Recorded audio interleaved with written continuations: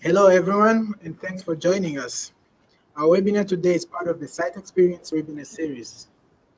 My name is Norbert. I'm the Student Outreach Coordinator for SciTechsperience Internship Program, and I'm here today with Piper, our Marketing and Communication Specialist, and Becky, the SciTechsperience Internship Program Director. Thanks for having me, Norbert. Glad to be here. Hey, everybody. So our topic for today's Student Guide to SciTechsperience, and at the end of this webinar, you'll have a full understanding of how to use this program like a pro and increase your odds of finding your dream internship. Quick heads up before we go into our topic of discussion today.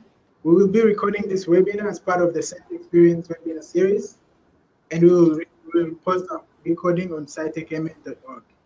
Piper has some questions that will help us to dive into the program, but we encourage you to participate by sending us the question through questions we know that Becky will let us know what's going on. Awesome. Great. Thanks, Norbert. So before we dive into our topic of discussion today, uh, we're going to do a quick poll to best understand how familiar everyone is with the SciTechsperience program. So if you wouldn't mind pulling that up and launching our first, first poll today. All right, so our options here are, uh, we've got the I am a returning applicant, we've got I've set up a profile but haven't found an internship, internship yet, I've looked at the site but haven't signed up yet, or also I'm totally new to this program. So chime in if you have a response, we'll give it a few seconds. Okay, great, let's see the results. So it looks like we've got, what does that say, 50%? 50% say I've set up a profile but haven't found an internship yet and 50% says that they're totally new for this. Well, that's cool. That's why you're here, and we're really glad that you joined us today. Um, so, with all of that in mind, Norbert, let's start with the basics. Let's go over um, by covering what exactly SciTechsperience is.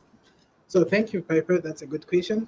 So SciTechsperience is a state-funded program that connects college students pursuing degrees in science, technology, engineering, and math, which is commonly known as STEM, to internships in small Minnesota companies. The program started in 2012 to build and retain STEM workforce, and we have already placed uh, over 900 plus interns. Last year we placed 208 interns, and this year we're going to place over 300 interns in our small companies. SciTechsperience internships offer students hands-on industry experience, an opportunity to apply their knowledge to real-world challenges, and the, and the skills they need to bridge the gap between classroom and career. Um, yeah, so that's really impressive, the number that you were able to get. Um, let's go into, forgive me, like the next question, but forgive me, I have to say, with what you've just described, how is SciTech any different from recruiting firms or agencies? Yes, so Piper, uh, we have specifics for the program that make us different from other recruiting agencies. First off, recruiting agencies have job seekers in their database that they connect to different jobs whenever jobs that match their skills open. They can call you for an interview with the hiring company, or and recruiting agencies both normally get a fee for making this match successful. SciTechsperience is exclusively for college students and functions differently. We don't make hiring choices, and we don't match you up with the company, and the program is free for both students and companies. Awesome. Okay, thanks for clearing that up. So, speaking of companies, what kind of companies and industries are involved with SciTechsperience? So that's a very good question again. All SciTech companies are small to mid-sized Minnesota companies, that is to say 250 employees or less, worldwide count. They have to be for-profit, registered to do business in Minnesota, and of course provide hands-on experience in STEM fields. All our companies fall within these industries, biotech and life sciences, engineering services, IT, and computer technology, manufacturing, fuels and energy, agriculture and food science, aerospace and defense. Awesome. Okay, so that's a pretty wide range. Um, all right, so I'm interested. You've got my attention. Let's say I'm a student. How can I get involved in SciTechsperience? Yeah, so it's very easy to get involved as a student piper. So both employers and students need to apply to the program in order to participate.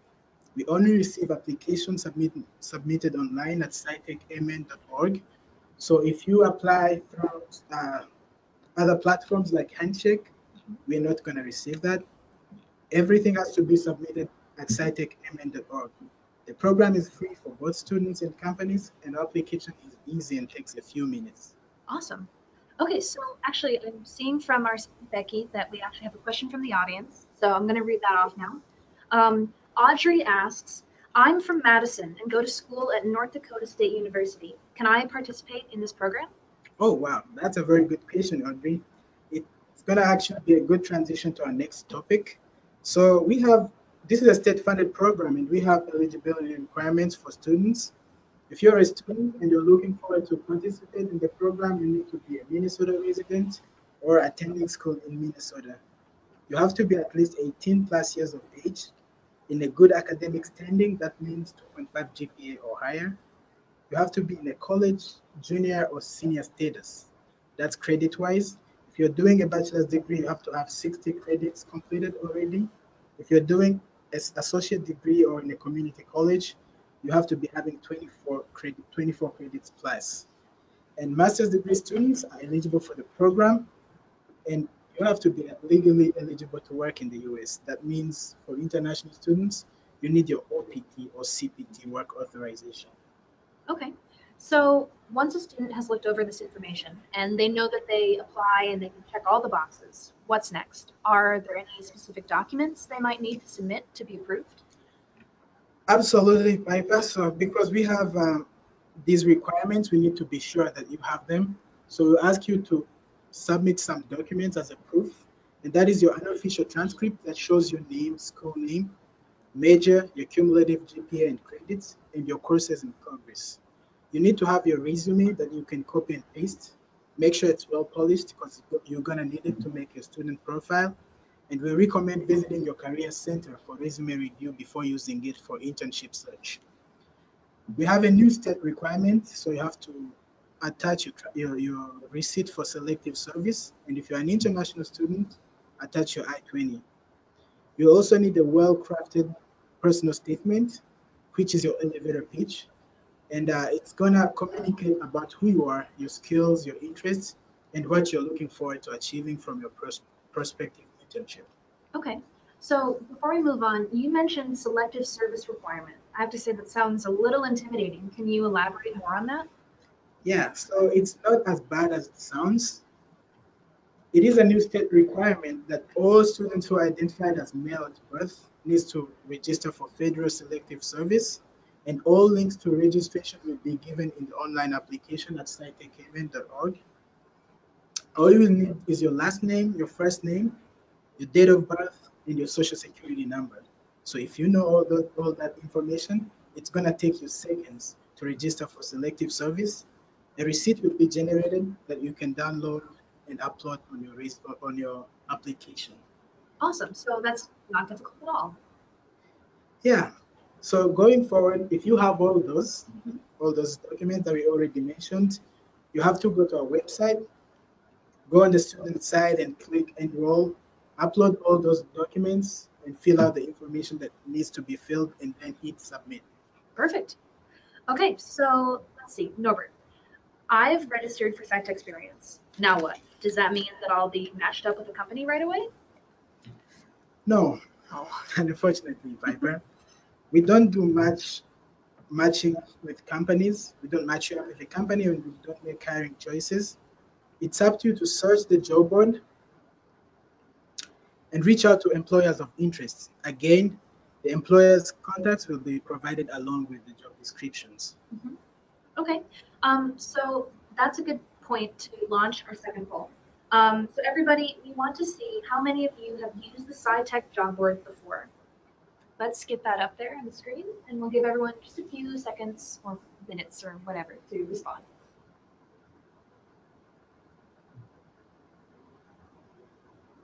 All right, it looks like we've got our responses here. So we've got what does it say, 50% each? Okay, well, that's great. So both cases, you know, you can learn more from what we're about to talk about then. Um, so with all of that in mind, Norbert, let's just real quick walk through the job board search process and what it takes to find employers' contacts. Okay, that's good. So when you've been approved to the program, you're going to receive an email And if you can read that email carefully, it's going to have all the basics of the program. First off, you need to log in into the program. And when you log in, you'll find our job board. Make sure you search the job board and mark all the jobs that are favorite to you by clicking on the star. That way you'll be able to see them the next time you log in. If the job is still open, if the job is still posted on our job site, it's still open. Read through the internship details, and you will need to fully understand every detail of the job that you're applying to in order to craft your resume, uh, to craft your letter, or even write the email to the hiring manager. Do your homework, review the job details, check the company's website, and make sure you understand every detail. Read their press releases and try to understand their work and culture. Determine if it's a good fit for you and how you're going to present yourself. If you decide that that is the right internship for you, it's your time. Now contact the hiring manager directly by sending them an email, attach your cover letter and your resume again. Okay, so now we're really getting into the important details that, that a lot of the students really care to know. So let's talk about what I should include in my initial email to the hiring manager. That's a good question, and that's a critical stage of your application. Make sure your email is in a professional tune. Focus on what you have to offer to the company and why you will be a good fit. Compose a well-written professional email and attach a clean copy of your resume and cover letter. If you don't have enough experience, you can talk about your coursework, express your willingness and desire to learn, and of course, your career center people will help you to come up with these uh, resume specifics.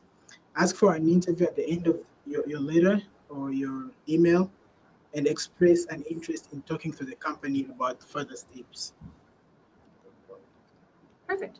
Okay, so then what about other forms of outreach? Um, when is it appropriate, for example, to call the company or to do a follow-up email in case I haven't heard from them?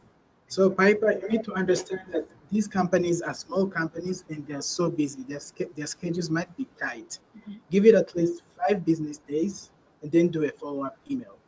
The key is to be persistent and stay professional. Okay, great. Always good advice, I think, in any situation when looking for a job or an internship. Um, so Norbert, moving on, talk to me about the odds of being hired through the program.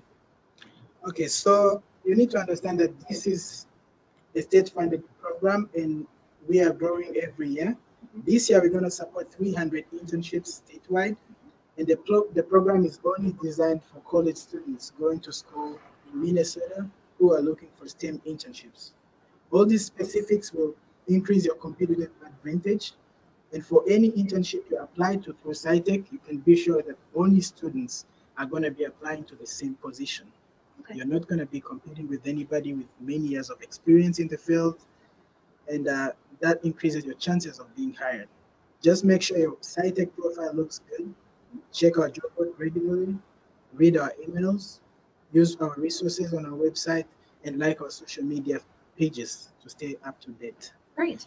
Do you have any insider advice on how students might be able to increase their odds of being hired? Yeah, so if you're a student and you understand how to use SciTechsperience very well, chances are you're going to learn something through the program. Mm-hmm. First, you need to create an outstanding student profile that showcases your skills and interests.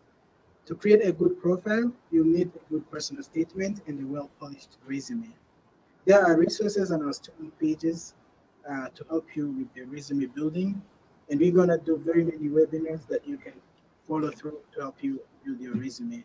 Your career center also is a good resource for you.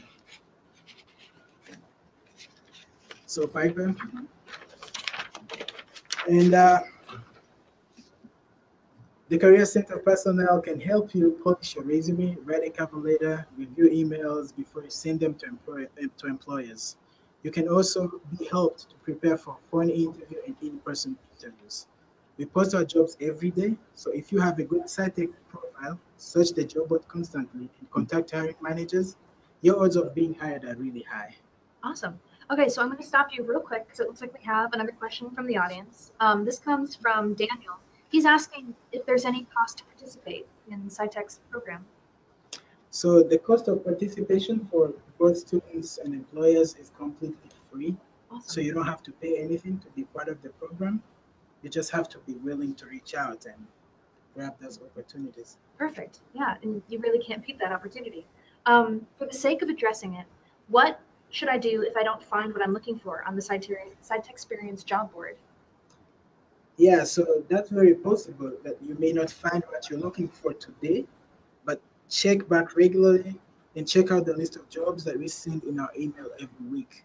Be persistent, be persistent because new jobs are posted every day. And if you can see a job at the board, it's still open, even if uh, it shows the job the start date has already expired. Mhm. If you can see it, it's open and it's up for grabs. So make sure you reach out to employers and try out your chances. Awesome. Um, so let's talk about the good news. What should I do when I'm hired? Well, if you're hired, congratulations. You've Yes, landed an internship. now, what you need to do is to learn more about the company and the position. Be sure it's what you were looking for and the company is a good fit for you. Remember, you can only do one internship or per year. So make good of it by making sure the internship is worth your time. Reply to the offer, preferably within 24 hours in a well-written email. Stay professional and take time to set internship goals before you start your internship. It's going to help you to build your profile and your portfolio to update your resume after your internship is done. Perfect. Um, so Becky's telling me that we have another question from the audience here as well. Um, this from comes from Jordy. He wants to know when do internships occur typically? So this is a whole year program. An internship it runs from September 1 through August 31st. Our companies hire students for part-time internships in the fall and spring semester. So you can apply for part-time internships during the semester, and you can also be sure to apply for internships like summer internships over spring semester. Check our job board regularly and read our emails that we send out every week. Perfect. Okay, so we've gone over a lot of these really good details, um, but I bet some of these interested students are probably wondering what they can expect if they had an internship through this experience. Can you talk to us about what a SciTechsperience internship is like and maybe how a student can make the most out of it? Yeah, so the best way to find out how our, how our internships are is to check our blog, check our website, read our stories about what what students have been doing. But one thing, all SciTech internships are designed to give you hands-on experience in your STEM field of study. We do not accept positions that primarily involve administrative work, marketing, sales, production, and such. So yeah, if you go to our website, go on our blog student page, you can read through very many stories of what our interns have been doing. And that's the best way to find out what internships, how SciTech internships look like. Great. Um, perfect. Okay, so that's actually a really good lead-in um, for our next poll that we have. So let's pull that up. Um, this one, we just kind of want to get to know. Uh, speaking of all the different ways that you know we try to provide information for you, um, we want to know what social media platforms do you use most frequently slash prefer. So Becky, um, you launched that for us. Mhm. Great. So we've got Facebook, Twitter, LinkedIn, Instagram, other. Uh, feel free to um, put in your answers and then go over those real quick. Let's see what everybody said. We got there fifty percent for Facebook and LinkedIn. That's fantastic. We update both of those really regularly. So if you haven't followed or liked us on any or all of these platforms yet, we really encourage you to do so. All you have to do is type in SciTechsperience, um, and we'll come up anywhere on all the social media platforms. Um, so we post regular updates about what the companies and interns are doing. Um, these are great ways to see examples of internships that you might love, or just to see what's new and what's happening. Um, so yeah, we'd love to see you follow us there to get more updates in kind of the areas where you are naturally. Um, but enough self promotion. Uh, tell me, Norbert, how can I get the most out of the SciTechsperience internship? Good question. So remember, you've set internship goals at the start of your internship. So now it's time to revisit those goals. Mhm. Uh, make sure you start building your portfolio of the work that you're doing. Explore your field of interest by taking on challenging pro- projects and ask as many questions as possible. It's your good time to network with professionals in the field. So take time to build professional relationships by observing great relationship builders in the company and learn from them. And remember, internships can be your route to full-time job. So maintain good professional ethics and make sure you learn more from your team. Great. Okay, so here we've got another question from the audience. Um, this comes from Tommy. He wants to know, can I refer a company to the program? So, for example, if he, if I'm understanding this right, because we've had questions like this before, um, if there's a company that he's already interested in, is it possible for him to get them signed up with SciTech? Yeah, that's a good question. And we've got, uh, we, uh, we, once in a while, we get students refer companies to the program. The company has to just be eligible for the program, which means it has to be a for-profit Minnesota company. And uh, the employee count has to be 250 employees or less, and their work has to be a STEM-related kind of work. So if the company is eligible and you come across that company, you can always refer them to the program. Perfect. Um, okay, so here's another scenario. I've had a great internship, but it's coming to an end. So how do I conclude? Uh, that's a very good question. So when you've had a very successful internship, it's a good time to exit to, to ask for an exit interview. An exit interview will give you a chance to have a review, receive um, feedback from your hiring a company, and make sure you stay in touch, maintain your contacts as much as possible after you leave your internship, and connect to them using LinkedIn. That's a professional networking uh, platform for you. Mm-hmm. Take take time to say thank you, and also make sure you say thank you to all those whom you interacted with during your internship, not just your hiring manager or your mentor make sure you just say goodbye to everybody that was involved in your in, in your internship. Great. Okay, so um, Becky, do you want to check to see if there's any other pending questions in the questions box there? Yes, we've got um, one more from someone who um, asks about what to do if they are a sophomore with no real work experience in their major. How do they increase their chances of being hired?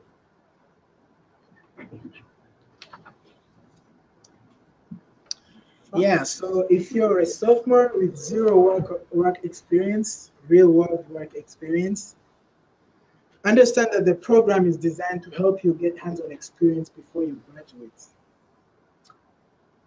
And uh, this experience is experience that you wouldn't otherwise get outside the program. So your resume is your marketing tool.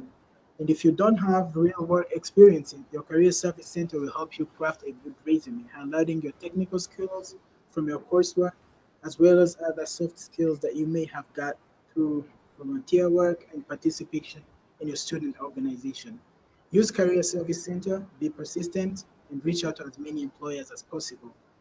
You may learn something if you're persistent and you reach out to as many employers uh, through the program. Awesome.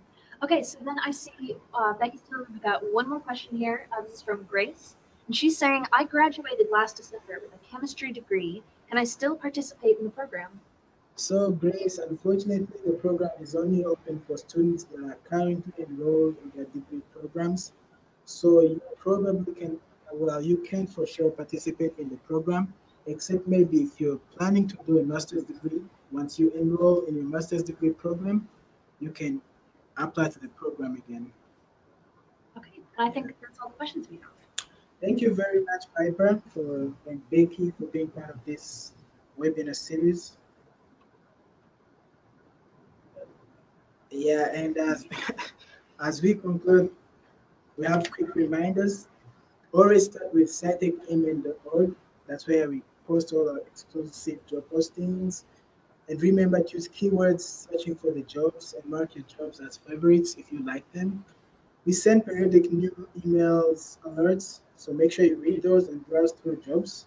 And remember, we don't make hiring choices, companies do. So reach out to as many employers as possible and treat this internship ad as real job hunt because this could be a real stepping stone to your dream STEM career. Be persistent and reach out to us if you have any questions. We do campus visits with student groups, attend career fairs, and do different workshops. So if you want us to visit your campus, feel free to drop us a line. Thank you very much. Yeah, thank you, everybody.